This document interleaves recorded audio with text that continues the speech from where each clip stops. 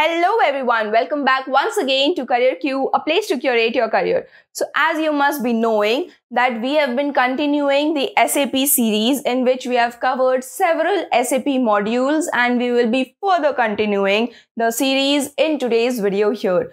In today's video, we will be knowing more about SAP MM that is the materials management module of SAP tool how is it helpful? How can you use it for your business or your organization?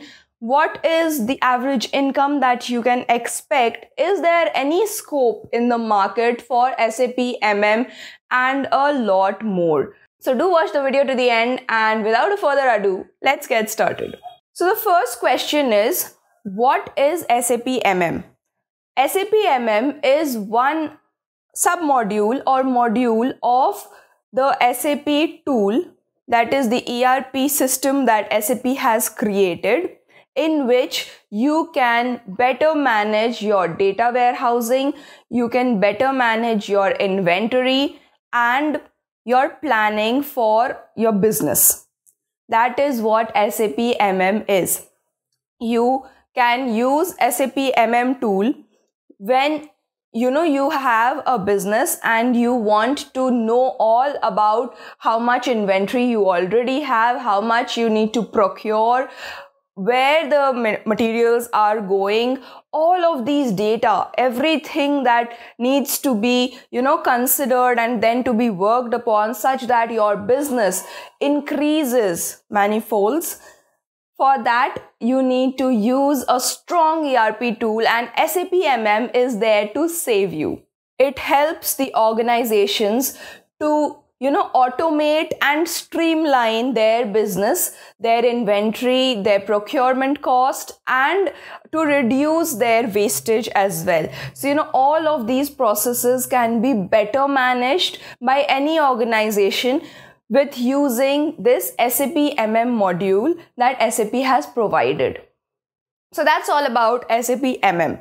Now let's get to know whether it is a in-demand uh, technology and whether there is a scope for jobs in the market or not. The answer to this question is yes. There is immense scope of SAP MM in the market because you know every time a business wants to grow and they want to uh, you know streamline their processes. They want to get rid of the old stock. They want to uh, get new stock. They want to manage their inventory. So any kind of business really needs to use this tool if they want to grow in their business. And hence SAP MM is one tool that is really used uh, almost in all kind of sectors but it is majorly used in the supply chain management. However, in the IT sector also, we have seen a lot of potential and we can say that there is a lot of scope when we are, you know, uh, knowing or trying to get to know more about SAP MM. So the next question that immediately pops up to our head is that what are the different job roles that uh, an SAP MM professional can go in for and how you can uh, or in which fields you can try to go into when you are deciding or when you have decided that you want to become an SAP MM professional. So there are six major job roles or responsibilities in which you can make uh, or think about making a career when you're working in SAP MM. The first one is SAP MM consultant. Now, as we have already seen, the consultants are the major people who want or uh, who are day in day out interacting with the clients and bringing in more clients. So you when you are in the it uh, segment and there are multiple other customers so your customers or your clients can be anyone. They can be the businesses who are actually managing the uh, supply chain systems you have to go to them and you have to convince them that why you will be using this tool what new will this tool add to their already existing business and how you can help your clients grow their businesses. So you know for all of these knowings you need to know how sap mm works and that is why sap mm consultants are required almost everywhere and majorly in the it sector the second job role is that of SAP MM functional analyst. Now, as a functional analyst, you have to work with the actual raw data that is provided by your client or your customer or maybe your organization. If you are not working in an IT segment and you don't have a client, you're directly working into um, in an organization such as Britannia or you're working in an organization such as Nestle. So uh, those are the people who are you know majorly producing things and supplying things. So they are maybe using them directly. So when you are working for these uh, organizations or when you're working as a or when you're working as someone in the IT service sector uh, providing services to such clients then you know uh, you have to know how to work with raw data and to give out useful beneficial results such that the businesses in hand or in turn grow.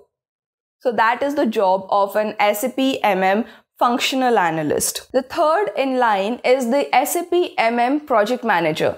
Now, as we all know, project managers cannot be people who are starting from the fresher level. Uh, for becoming a project manager, you need to know end-to-end solution of how SAP MM is working, what are the different segments or the sub-modules that function in SAP MM and you have to be uh, you have to have the knowledge of all of them and you have to be uh, you know on top of all of them you have to be managing each of those segments or each of those fragments such that the entire project that is using SAP MM that becomes streamlined and there is no flaw or no gaps in between. So that is the job of an SAP MM project manager to oversee the entire process and to know whether your project is going well, doing well or not and how you can improve your performances. The next in line is SAP MM Support Specialist. Now, since this is a part of a very big ERP system, there can be times or there are multiple times when, you know, issues come in and people are not able to uh, deal or know how to resolve those issues when they are trying to customize according to their business requirements there there some issue can come up. Or you know there can be some bug when you have written your code. So these kind of issues when you are uh, facing an issue with the ui also so these issues can be resolved by an SAP MM support specialist, a person who is there to provide support to the clients or to the organizations such that everyone is able to resolve their issues as soon as possible such that the business doesn't suffer on a large scale. The next in line is the SAP MM Master Data Analyst. A master data analyst is a person who actually works with the master data, like the raw uh, tons and tons of data that gets generated each and every day. How much production has been occurred in each and every pipe or each and every supply. If there are there are big organizations, they can have a lot of supply units how many customers were there, how many customers have bought, and a lot more. There can be n, n number of data and tons of data, which, you know, everyone, not even functional analyst is able to work with such data. To work in with such a huge amount of data, we require special data analysts who are termed as SAP MM Master Data Analysts. These data analysts work to reduce the size of the data, filter out or clean out the actual required data and then this uh, you know data is further given to the functional analyst to uh, take out or find out the functional messages or the uh, views that the business is expecting to know such that they are able to reduce their uh, wastage or such that they are able to enhance their growth, enhance their production, and gain more customers. So, this is the role of SAP MM Master Data Analyst. And the last job role that you can find in the SAP MM uh, module is that of SAP MM Materials Planner. Now, materials planner is a person who has to work day in, day out with a production team.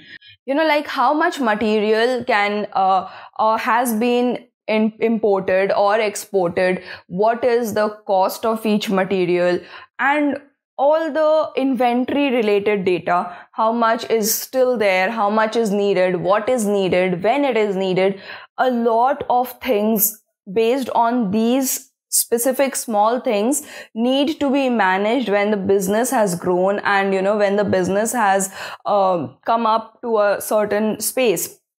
So as an SAP MM materials planner, you have to be on top of the production team and working very closely with the production team to get in all your data that you have you require. And then plan accordingly uh, you know which thing needs to be uh, coming in which thing needs to be going out uh, or which is being wasted. So you know how the materials should be planned such that the businesses don't incur much losses. So this is the role of sap mm materials planner so these are the six various job profiles that is there in the sap mm module and in which you can make a career of. To start with can freshers come into the job? Yes uh, you can become an sap mm professional. However a little bit of market knowledge is something that if you have from beforehand that is that will come really handy and it will further help you Further, if you don't have any such uh, prior experience, you are a complete fresher, then even if you have worked in such an organization, like a friend of mine got an internship in PepsiCo. So she has, uh, or she can show it to someone and say that I have worked in PepsiCo and uh, she was specially, uh, specifically put in the uh, place where the Lay's product is being manufactured. So, you know, she can use that knowledge. So, you also can try and get hold of some internships or you can uh, go in to understand the market and adopt or go into perform or take in a certification. If you take a certification, it will actually put a stamp on your knowledge because it is a market thing that we are looking into. And you know, generally, market is one thing that we are not really taught if we are coming from a BTech background or a BCA background. So, market and you know, how supply chain works, these are not things that are being taught. If you are working in a sales and distribution kind of thing, if you have done your MBA, then the thing is different. But if you have done just pursued your bachelor's, then it's a bit uh, early phase. And if you do a certification, it will enhance or improve your chances of getting in a job. Uh, but yes, freshers do get into the SAP MM module. So now let us discuss how much is the salary or average salary that an SAP MM professional can earn. So let me tell you that the average beginning salary as a fresher that you can expect is somewhere close to the 3 to 4 LPA that you know the service based organizations generally offer to the freshers. So uh, you can expect a starting salary of as low as 3 to 4 LPA for some organizations, it can also go to 6 to 7 LPA. Uh, that really, you know, comes with organization to organization, that figure can differ. However, after you have worked for some time, like you have worked for 3 to 4 years now, how much can you expect a growth in your salary? Then you can easily expect anywhere in between 12 to 15 LPA. So within a span of three to four years, you can increase your salary you know 3 to 5 times.